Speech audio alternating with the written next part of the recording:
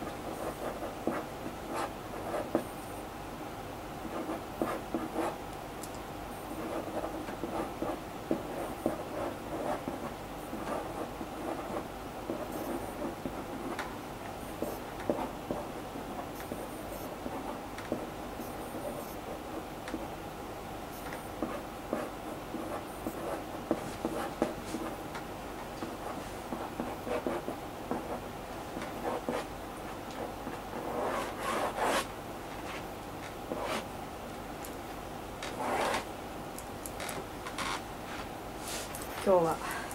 えー今はモスラを描いてますね。ねこの間東京コミコンで次のゴジラキングオブモンスターズのいろんなゴジラとモスラとラドンとキングギドラのビジュアルが解禁されていました。あの今回は、私の個人的な感想としてあのモスラが GMK のモスラにちょっと似ているなと思いましてね。ですから、あの今回はちょっとね GMK のモスラを描いておりますね。ゴジラモスラキングギドラ大怪獣総攻撃っていうね作品なんですけれども。あの作品は私はまあレジェンダリーのゴジラとても好きですけれども日本国内の作品ではあれが一番好きなんですね。やっぱゴジラがねすごく凶暴ですし、ね、あのなんたってそれに尽きるんですけどね。ゴジラがね白目で目が白くて、ね、いかにもこう見るからに悪者って感じがしますしね。でバラゴミがねちょっとあのね地中でねだいぶかわいそうな目に遭ってしまうんですけどね。またそれもまたいいんですよね。とっても。その、ね、ヒーローの、ね、いいもののゴジラもすごく、まあ、好きなんですけれども、あのやっぱり悪者のゴジラもねすごくとても好きなんですね人に向かって容赦なく熱戦を吐くっていうまたいいんですよ。でもねモスラはやっぱりこう羽がね綺麗にしなしなっていて見るのがとても好きですね GMK のモスラってごくあの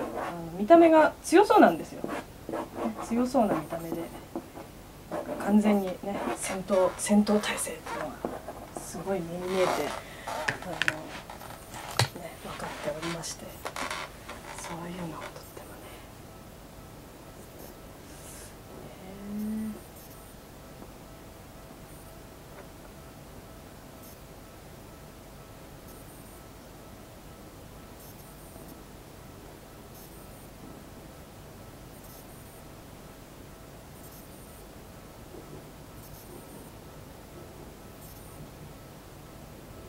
であの東京コミコンで見たあのハリウッドのモスラは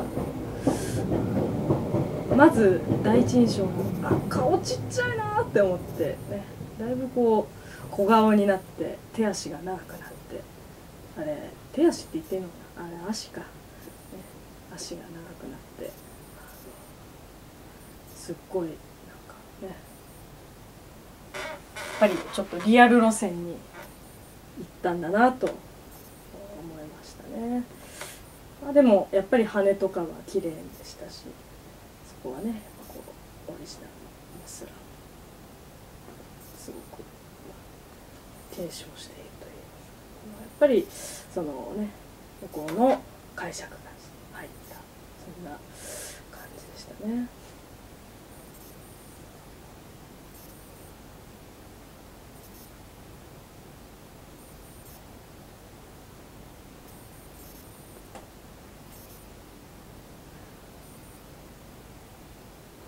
であの何でしたっけと最初にまあゴジラのイベントがその時ありまして最初にマイケル・ドーハティ監督がねあの壇上に立って、うんね、新作のゴジラについてお話をなさってましたけれどもそのモスラについてはねあのこうしたけえっと見た目はすごくね優雅で美しくてね。ね美しい見た目なんだけど他の怪獣と渡り合えるほどのね強さや獰猛さがあるってそういうふうにお話をなさっていてね、うん、何でした。まあモスラといえばねこう日本の作品とかだと、まあ、やっぱりゴジラにね戦いを挑んで最後はねあのゴジラの熱戦で描かれてでこう大抵途中でねこうモスラの最後の切り札である臨分攻撃をしててそれをするとなるともう寿命がね近くてで最後はゴジラにやられて散っていくっていうそういうちょっとこう儚げな感じのイメージがとっても強いですよね。つまり、ね、儚くまあかよまあね人間風にちょっとか弱さというかそういうのがやっぱりイメージとしてとっても強かったんですけど、まあ、そのハリウッドのモスラはね他の怪獣と渡り合えるほどの強さがモスラにはあるっていう見た目は美しいけど強さがあるっていうそういう解釈の仕方がなんか人間のヒロインとも通じるものがあるんですよ。あのまあ昔の映画とかでもあの、ね、やっぱ女性のヒロインっていうのはちょっとこうか弱さがあって男男性のね主人公にこう守ってもらったり助けてもらったりっていうそういうあの描写が昔の映画では割と目立ってましたけど今の映画の女性ヒロインっていうのはもう普通に戦ったり、ね、自分でこう、ね、切り抜ける強さ、ねまあ、去年のね「ワンダーウーマン」っていう女性のスーパーヒーローがね主役のあの映画も出たくらいですしなんかそういう感じでモスラを通してモスラもまたその、ね、最近の女性のその考え方というか、ね、女の人も強くねたくましくあるっていうそういうあの解釈がっぱり反映されてるのかなとかちょっと思ったりしましたね。まあ、とてもいいことですよね喜ぶべきことですよなんかそういうふうに見るととっても面白いなって思いますね。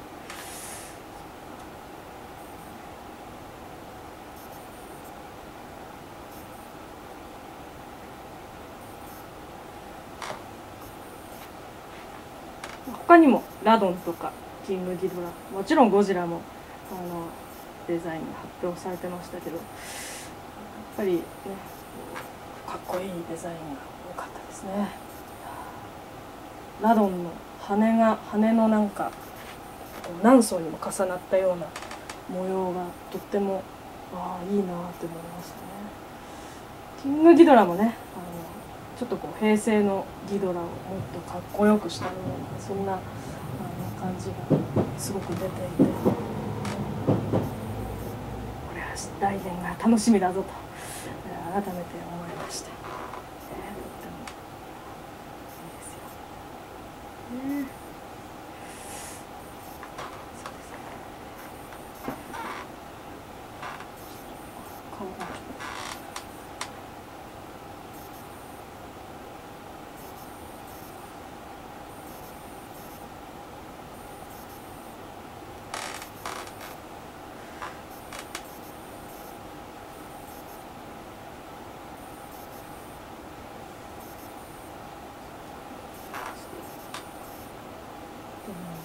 ども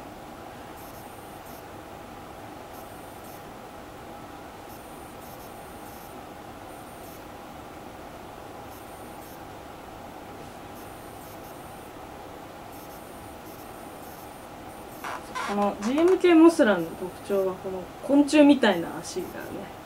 いいんですよね。でこれでこちらに攻撃を仕掛けられるんですよまだね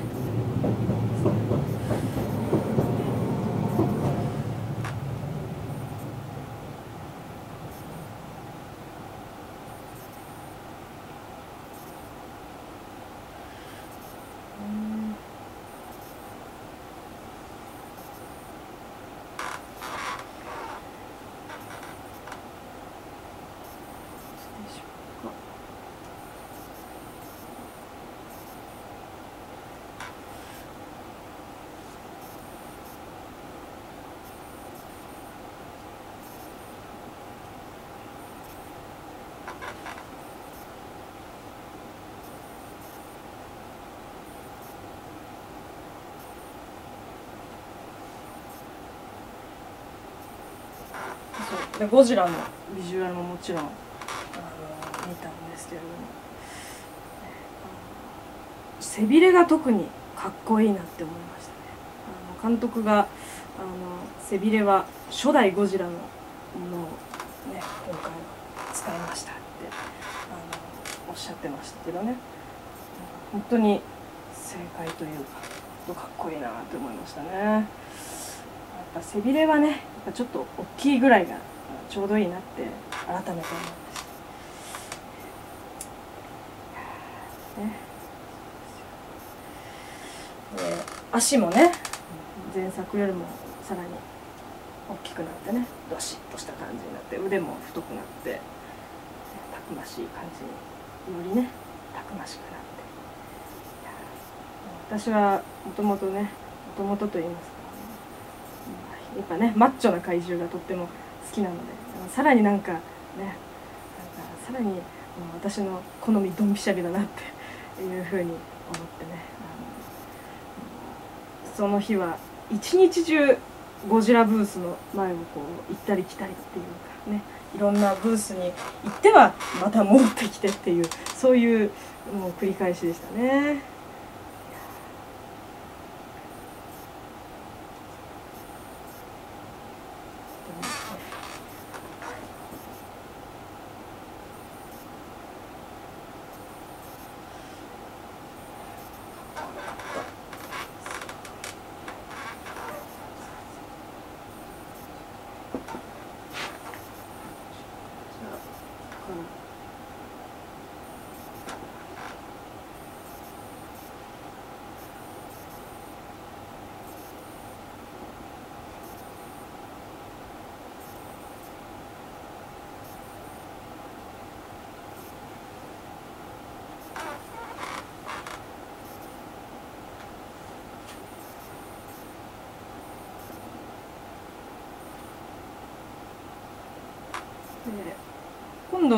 ゴジラは。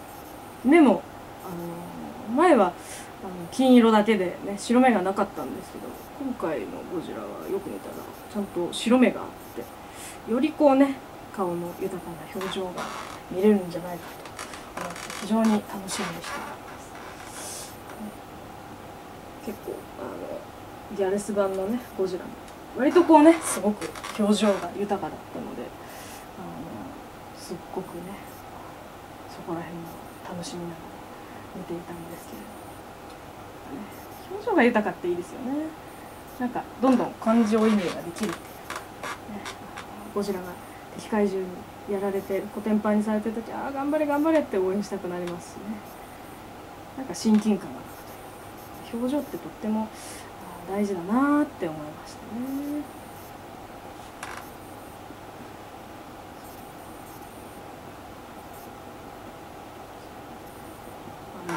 モスラね。モスラがモスラに出会ってというかモスラが、ね、好きになってから私実はあの小さい頃小さい頃というかもう本当はね蛾がすごく苦手で、ね、大きい蛾がいたら逃げ回ってたようなそんな感じだったんですけどでもなんかモスラを見てねモスラモスラいいなって思ってから蛾が苦手だったのも克服できましたね怪獣ってそんなすごいなって思いますねだから今夏とかねあの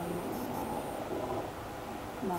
例えばね夏に山の中に行ったりするとあの蛾がね大きい蛾が木の陰とかで休んでたり建物の陰でね羽を広げてあのいらっしゃったりするのたま何回かね見かけることありますけど。やっぱりまじまじと見ちゃう羽の模様とか羽の色とかでよく見るとこう例えば同じ山眉画でも一匹一匹その一匹というか一羽っていうのか、ね、とても羽が大きいからなんか鳥みたいな風にも見えますけどね一匹ずつこう微妙に違うんですよ羽の色が、ね、ちょっと茶色っぽかったりオレンジが濃かったり黄色っぽいのもいますよね。だからそういうのをこう見てるのもすごい面白いなって思いながら見てるんですね。であの大水青っていうあの若草色のあの山眉蛾の仲間の蛾がいるんですけどねその蛾はすっごい綺麗なんですよ。姿っていうか羽の形がまずすごく綺麗で羽の色もすごい綺麗でなんか薄ミントの色の羽をしてるんですよね。でそれが薄ミント。薄ミント一色でそれで広げて立ってるわけですから。すごくあ美しいなって思います。ちなみに何でしたっけ？大水青の学名にその月の女神に例えられてアルテミスって名前が付けられてるんですよ、ね、アルテミスっていうのは、ね、やっぱりそれを最初に見つけた人もあなんて美しいんだってきっと思ったことでしょう。まあ蛾を毛嫌いするのは蛾と蝶を区別するのはどうやら日本だけらしくって。まあその日本だけっていうか本来はその蛾と蝶っていうのはあんまりあんまりこう明確な違いがないそうですね。あその違いとか、まあ、分類の仕方もこうなんか曖昧らしくってですからなんかあんまりねあんまりこう明確に蛾はこうで蝶はこうだみたいなそういうのはないみたいですね。で実際そのガガと区別されたものでもすごいなんか綺麗なね羽の模様のガもういますからね。ですからなんかなんかこれをきっかけにというそういうのもちょっといろいろ調べてみると面白いなとかね。思ったりしますねすごく。ただどうしてもこう克服できないとどうしてもやっぱり、うん、苦手だなと思うのもありましてね。それはあの雲ですね。いくらあのクモンガクモンガが出てきてねあのクモンガ頑張れとか思いますけどうーんどうも雲だけはちょっと苦手だなって 思いますけどねまあただ雲もね害虫を食べてくれたりするのでまあいいか ってねあんまりそこら辺を歩き回らなければ、いっかっていうふうに、まあ、そんな感じですけどね。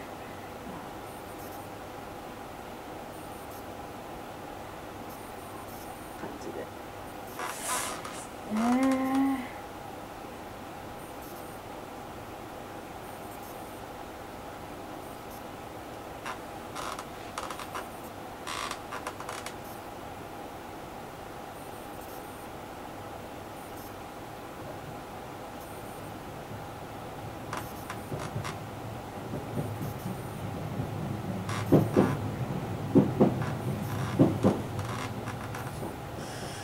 来年のね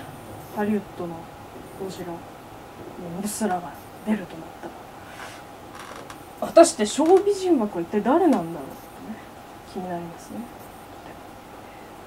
あの小美人枠。なんか主人公の女の子がどうやらその怪獣とね意思疎通ができるというの力を持ってるそうなのでまあおそらく主人公が、まあ、ゴジラなりモスラなりとこうなんかねコミュニケーションを取るのかもしれないんですけど個人的にやっぱり小美人に出てきていただいて、ね、怪獣三大怪獣地球最大の決戦みたいにねこう怪獣語の通訳をちょっとしてほしいなとね例えばこう、ね「ラドンもそうだそうだと言っております」とかね言ってほしいなとかちょっと思ったりするんですけどね。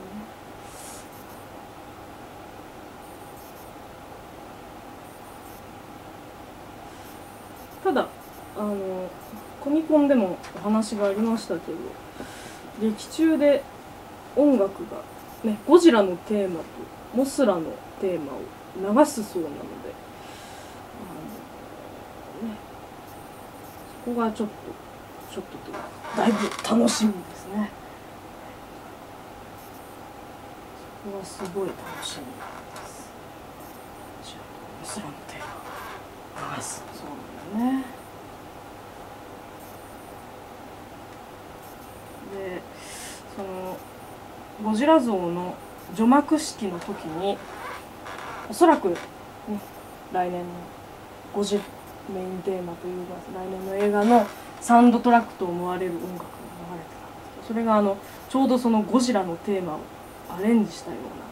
ものですごいかっこいい仕上がりになってて。これこの音楽とともにゴジラが現れるのかとか思うとすごいワクワクしましたね。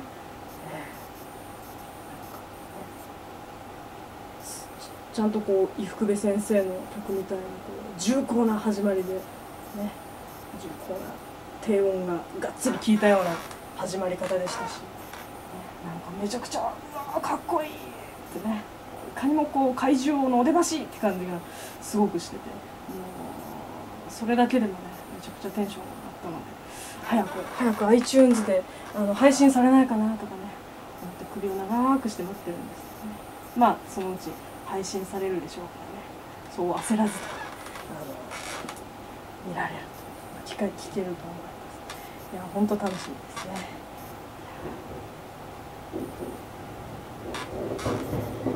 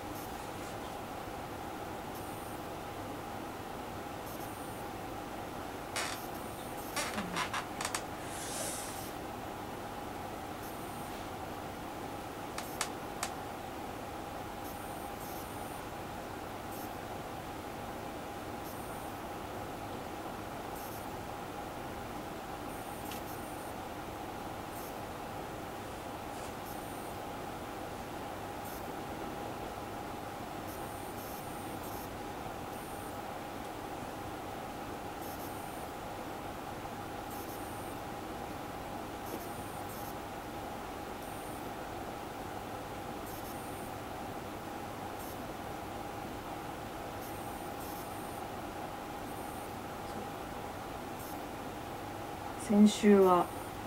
先週ご覧になった方もいらっしゃると思うんですけれども先週はあのあの怪獣漫画家のねマット・フランク先生と縁があってあの一緒に書かせていただいたんですいや、ね、やっぱりすぐ横で本当のプロのねイラストレーターさんがお書きになってるのを見て、非常に勉強になりましたね。そのゴジラの肌の質感だったりポーズの取らせ方だったり構図の作り方だったりやっぱりさすがさすがさすがマット・フーランク先生だなって思いながら書いておりましたね。その時は、ね、マット先生の横に置いても、ね、あの見劣りしないように最大限の力で、ね、頑張らなければと思ってめちゃくちゃその時めちゃくちゃ緊張してたんですけどね、どう、えー、どのように映ったかは、まあ、お客様、まあ、見てくださった方にねどう映ったかは、まあ、あれですけど。いや本当にあのすごく書きながらとっても勉強になりました。こんな機会はめったにないですからね。あの本当に私も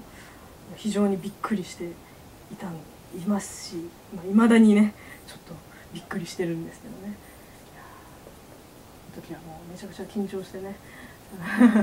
何喋ったのかもあんまりよく覚えてないんですけれども。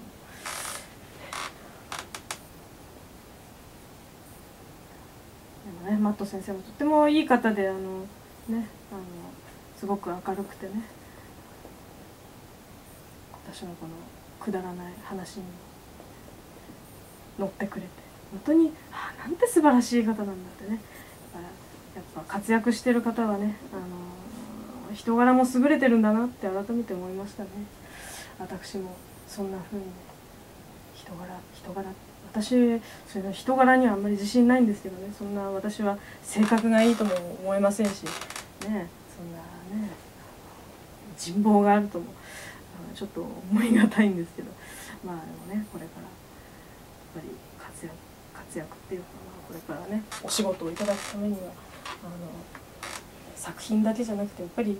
人人柄とかねあの内面っていうのもやっぱり魅力的であるべきだと思うので気をつける、まあ、気をつけるっていう、ね、そういうのもちゃんと磨けるようにしたいと思います。ね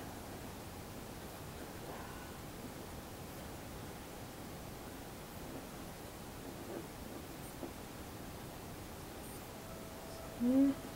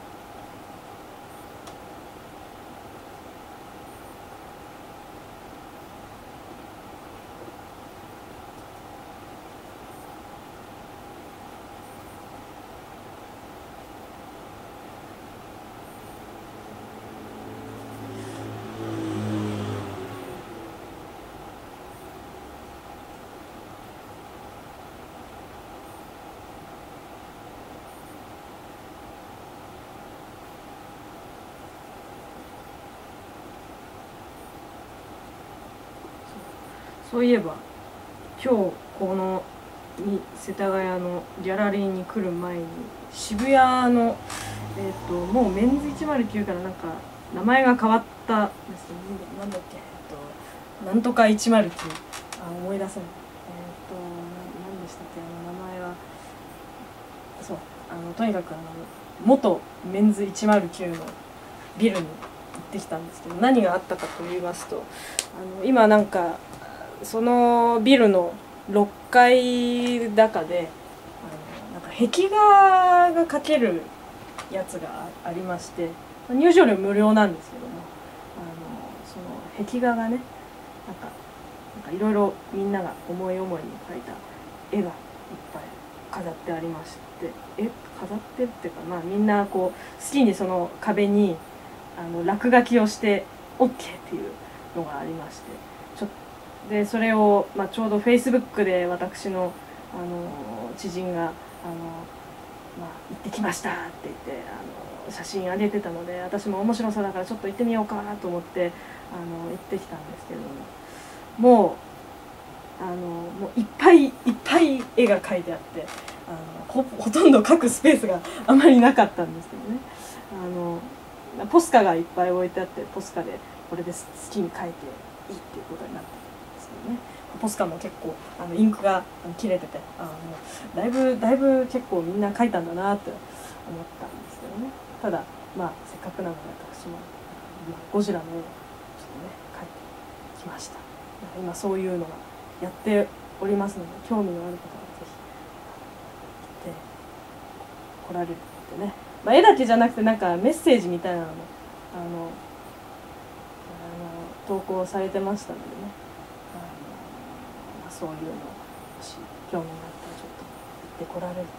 といいんじゃないかなとか思ったりします。ちなみに、えーと、期間はそうだななんか1月ぐらいまでかな？1月なんかまだちょっとあった気がするので行ってこられると、また私もちょっと行ってこようかなと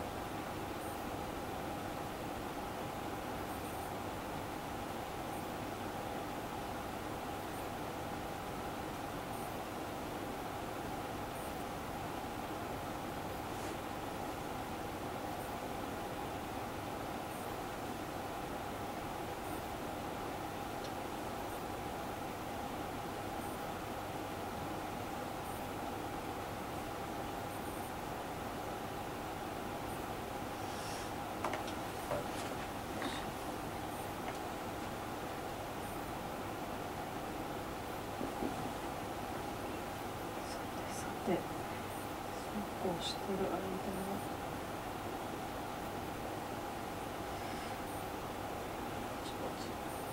出来上がりつつあるんですけれど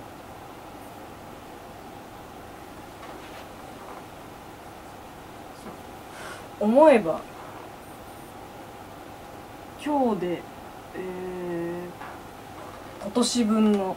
私のライブペイントの回が終わるんですよね。7月からこの、ね、世田谷ブルーテレビで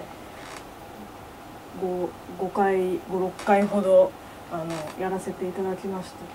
ど実は今日で今年分のライブ私のライブペイント終わりになるんです。でまた来年やらせていただくことになってるんです。今年1年を振り返ってどうだったかいろいろこう考えましたけど、まあ、相変わらずと言いますか相変わらず絵を描いて 暮らし終わったなとただ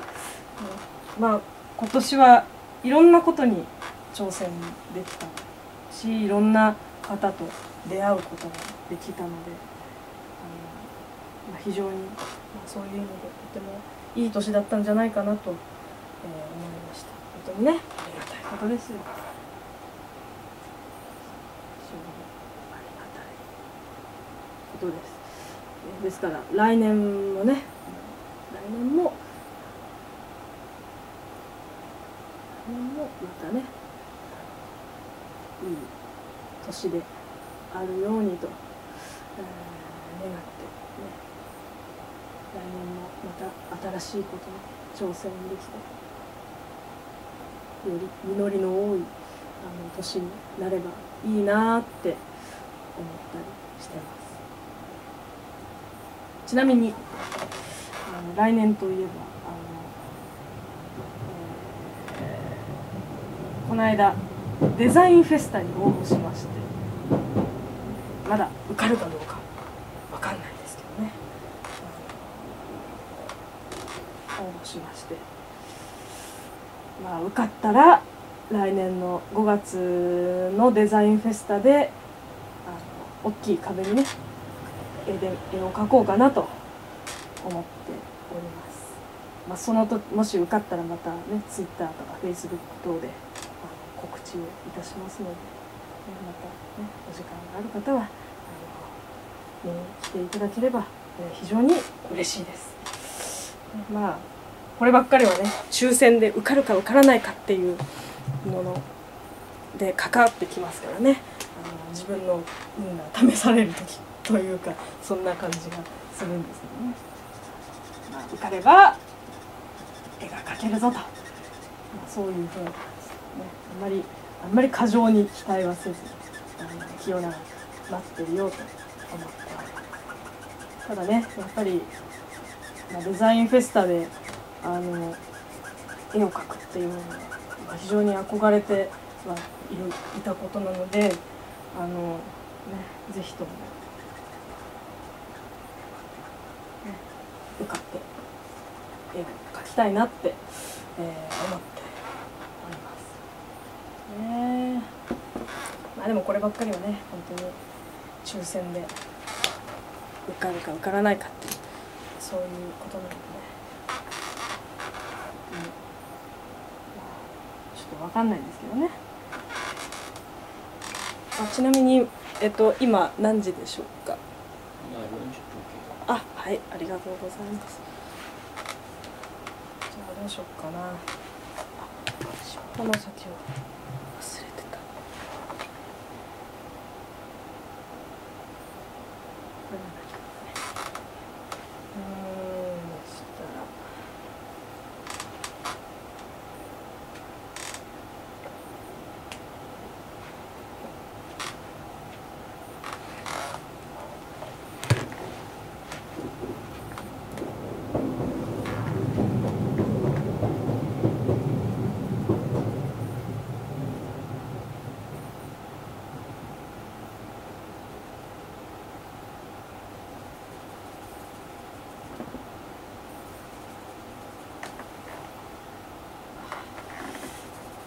毎回こう絵が描き終わる頃になるとそろそろこう筆ペンのインクがね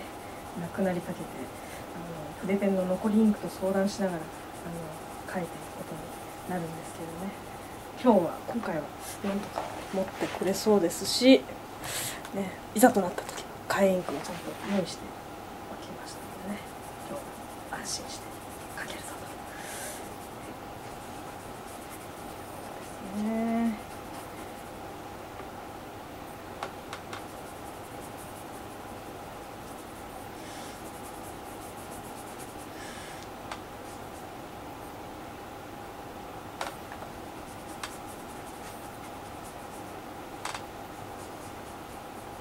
まあでもこうやってあのライブペイントで絵を描かせていただく機会があるというのは本当にありがたいことですし勉強になることであのというのもねやっぱりこう次じゃあ次はいついつってなればじゃあ次は何書こうかなと思ってねあの考えますしあの必然的にね必然的に次何書こうかなと考えますしあの、ね、いつもあのゴジラばっかり描いてるんで、ね、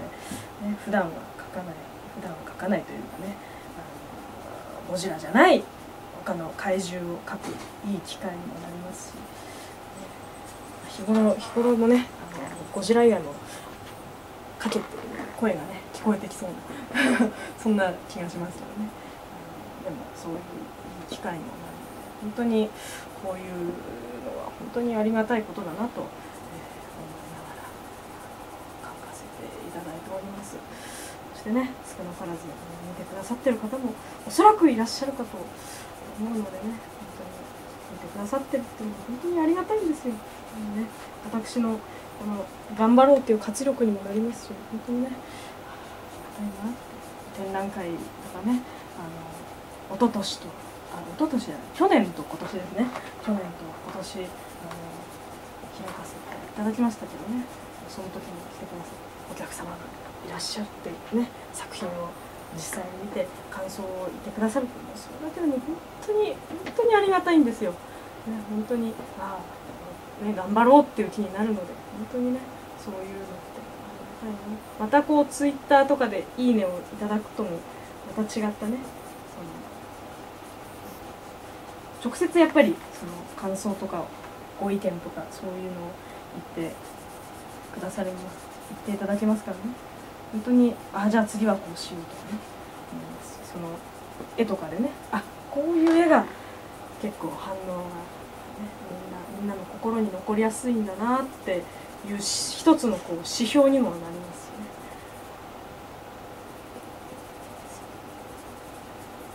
本当にそういうので、お勉強させていただいております。そろそろこうインクがいい感じにかすれてきて。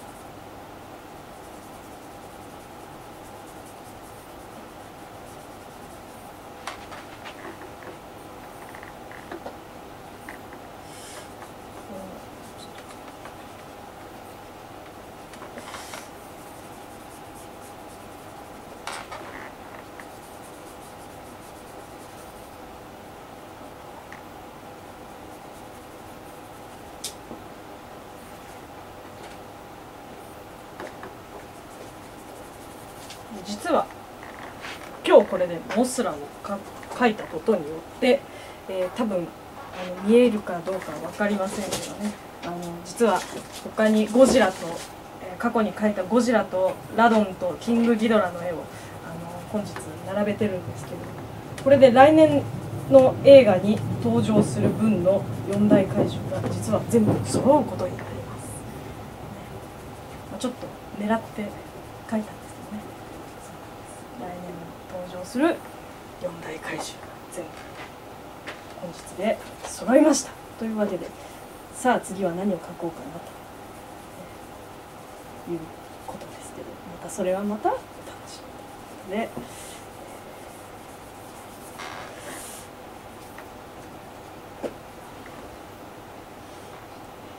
先は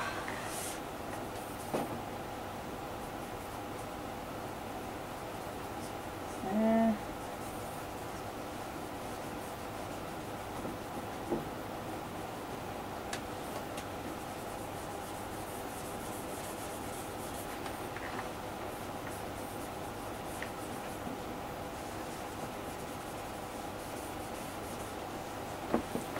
はい。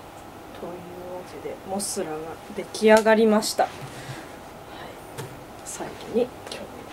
日日付と名前を入れますね実は2011年